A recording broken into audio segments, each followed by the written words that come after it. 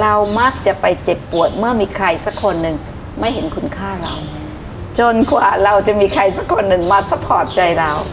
เราจึงรู้สึกอบอุ่นของที่ไม่น่าสนใจ โดนเหวี่ยงทิ้งไป ก็เหมือนกับเราอะแหละเราก็ถูกคนปฏิเสธ จนวันหนึ่งเรา support ใจของเราได้จริงไหมล่ะ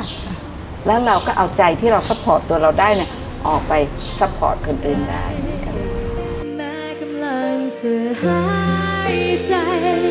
เป็นสิ่งของไม่มีชีวิตข้างในบุบสลายจนเกินจะคิดเยียวยาจนเมื่อฉันได้มาเจอกับเธอ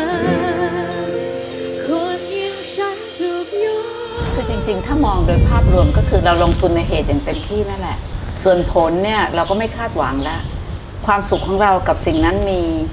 แล้วเราก็มองว่าสิ่งที่เรามีความสุขเนี่ยมันก็พอจะเป็นประโยชน์ได้บ้าง ส่วนดังไม่ดังก็เป็นผล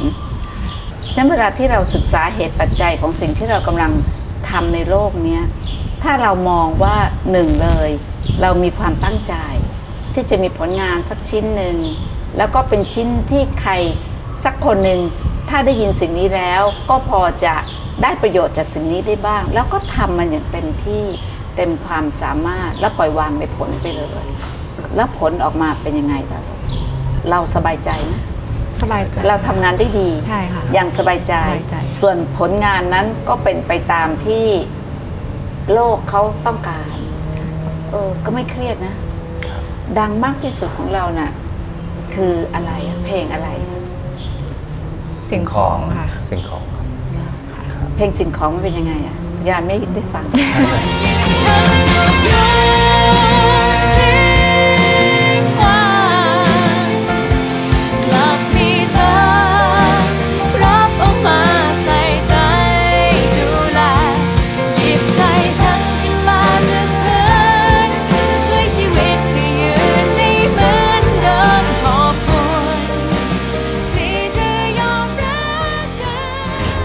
ที่พูดถึงคนที่โดนเหมือนทิ้งขว้างมาเหมือนเป็นสิ่งของที่ไม่มีชีวิตจิตใจ แล้วก็มี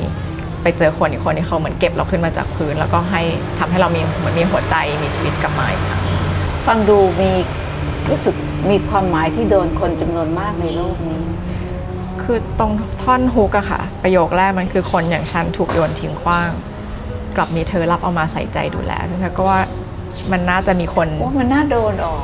ประโยชน์นี่มันน่าโดนอะใช่ไหมคะทุกท่านลองมองดูว่าเออเราเคยถูกทิ้งมาก่อน แต่มันมีใครสักคนหนึ่งอะ support ใจเราอะโอ้โหอันนี้มันโดนแน่นอนเลยค่ะเพราะโลกมันเป็นอย่างนั้นเลยค่ะ เรามักจะ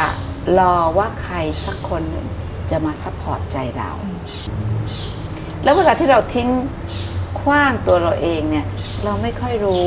เรามักจะไปเจ็บปวดเมื่อมีใครสักคนหนึ่งไม่เห็นคุณค่าเรา จนกว่าเราจะมีใครสักคนหนึ่งมาสปอร์ตใจเรา เราจึงรู้สึกอบอุ่น เราจึงรู้สึกเหมือนกับเราเป็นที่ต้องการ อันนี้คือเพลงถูกไหมอันเนี้ยจะโดนเลย เพราะว่าความจริงคนคิดอย่างนั้นเยอะ แต่พอมันปฏิบัติต่อไปอีกสักหน่อยหนึ่งกลับมา support ใจตัวเองได้ เห็นคุณค่าในการโอบกอดหัวใจของเราได้ ความรักที่มันมีความซื่อสัตย์ต่อหัวใจของเราเนี่ยนะคะมันจะเปลี่ยน position ของเรากลายเป็น support หัวใจของคนที่ถูกทิ้งขว้างได้ เวลาที่เรามีคนฟังเพลงเยอะๆเนี่ย คนฟังเพลงเขาก็โอเป็นนายิโกไอเนื้อเพลงมาเป็นเขาไงคุณแม่ว่าคนที่รอคอยว่าจะต้องมีใครมาเห็นคุณค่าในตัวเราหรือ support ใจของเราเนี่ย เขาจะเริ่ม support ใจของเขาได้ ก็เหมือนกับเราอะแหละเราก็ถูกคนปฏิเสธ จนวันหนึ่งเรา support ใจของเราได้จริงไหมล่ะแล้วเราก็เอาใจที่เรา support ตัวเราได้เนี่ยออกไป support คนอื่นได้เหมือนกันเลยมันก็คือวิถีของโลกงั้นเวลาที่เราเห็นการเล่นดนตรีเป็นศิลปะชิ้นหนึ่งที่ทำให้โลกใบนี้มันสามารถ ทำให้คนมา support หัวใจของตัวเองได้นี่ก็คือการแสดงธรรมอย่างหนึ่ง มันเป็น spiritual entertainment เลยนะลูกเป็นความสนุกสนานทางปัญญานะ เพราะว่าถ้าจะเอาแม่ชีมานั่งแสดงธรรมคนมันก็ฟังอยู่อีกจุดหนึ่งแต่ถ้าร้องเพลงอย่างเงี้ยมันก็จะกลายเป็นคนที่แบบเขาเขาไม่ได้รู้สึกว่าเขากำลังฟังธรรมนะ แต่เขากำลังฟังหัวใจของตัวเองและทุกครั้งที่มีการแสดงที่ทำให้คนกลับไปฟังหัวใจของตัวเอง และเห็นคุณค่าในตัวเอง support ตัวเองได้ นั่นน่ะคือการเป็นประโยชน์อย่างไม่เลือกปฏิบัติเลยนะลูกหนูมีคำถามค่ะจริงๆสิ่งที่ที่คุณแม่เพิ่งเพิ่งบอกมามันน่าจะเป็นเป้าหมายชีวิตของแพทย์แล้วก็พี่นัทแล้วก็วงอะค่ะ คือหมายถึงว่าแพทย์รู้สึกว่าคำว่า spiritual entertainment มันเป็นอะไรที่แบบ มันคือที่สุดแล้วที่ศิลปินจะทำได้อืมแต่ว่าหนูมีคำถามว่า สิ่งที่วงการ บันเทิงป้อนให้กับคนอยู่ตอนนี้ค่ะ มันไม่ใช่ทั้งหมดที่มันเป็น